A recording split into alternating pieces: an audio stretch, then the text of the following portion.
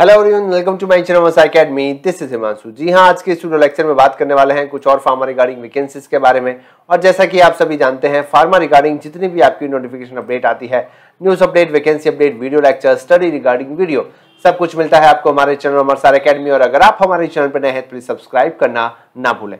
जी हाँ आज के स्टूडियो लेक्चर में कंप्लीट बात करने वाले हैं लोकमान्य तिलक मेडिकल कॉलेज में। और Lokmanya Tilak medical general hospital में यहाँ पे कुछ फार्मा रिगार्डिंग वैकेंसी है लगभग लगभग दस फार्मासिस्ट की वैकेंसी है।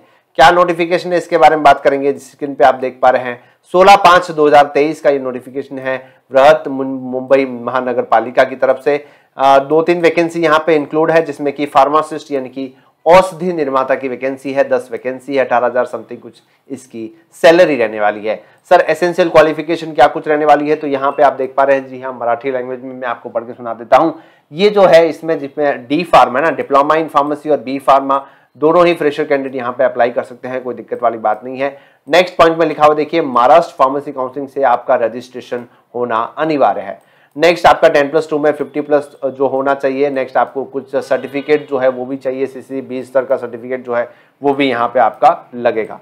सर्व साधारण जनरल टर्म्स एंड कंडीशन क्या कुछ लिखी हुई है, वो सब आप यहाँ पे देख पा रहे हैं।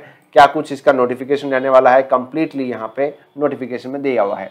और आपको इसको अगर पढ़ना है, अच्छे से इंग्लिश में आप पढ़ना चाहते हैं तो हमारी वेबसाइट पे ही अपलोड हो चुका है। यहाँ पे आप देख पा रहे हैं, देखिए वैकेंसी ऑफ़ दस फार्मासिस्ट की वैकेंसी ये सैलरी रहने वाली है। क्वालिफिकेशन में आप क्लियरली देख पा रहे हैं, देखिए, ये लिखा हुआ degree and diploma in pharmacy university from recognise institute Maharashtra state pharmacy council का रजिस्ट्रेशन होना चाहिए। और आपका टेन प्लस टू में फिफ्टी प्लस मार्क होना चाहिए सी सी सी ओ लेवल का सर्टिफिकेट होना चाहिए। जनरल टर्म्स कंडीशन सारा सब कुछ इंग्लिश में मेंशन है। अगर आप इस पीडीएफ को डाउनलोड करना चाहते हो तो यहाँ ऑफिशियल पीडीएफ डाउनलोड पे क्लिक करेंगे तो ये भी पीडीएफ जो है वो आपके सामने खुली हुई नज़र आ जाएगी। रिसेंटली क्या कुछ नोटिफिकेशन चल रहा है? कौन कौन सी वैकेंसी चल रही है? तो यहाँ पे आप देख पा रहे हैं, जो भी वैकेंसी रहती है, सारी अपडेट जो है आपको हमारी वेबसाइट पे मिल जाती है। तो जो कोई भी नया स्टूडेंट है, वो यहाँ पे चेक कर सकते हैं अप्लाई कर सकते हैं। सारी नोटिफिकेशन आपको लिंक मिल जाती है फार्मेसी नोट्स एग्ज़ाम पेपर सब कुछ यहाँ पे आपको अवेलेबल हो जाता है।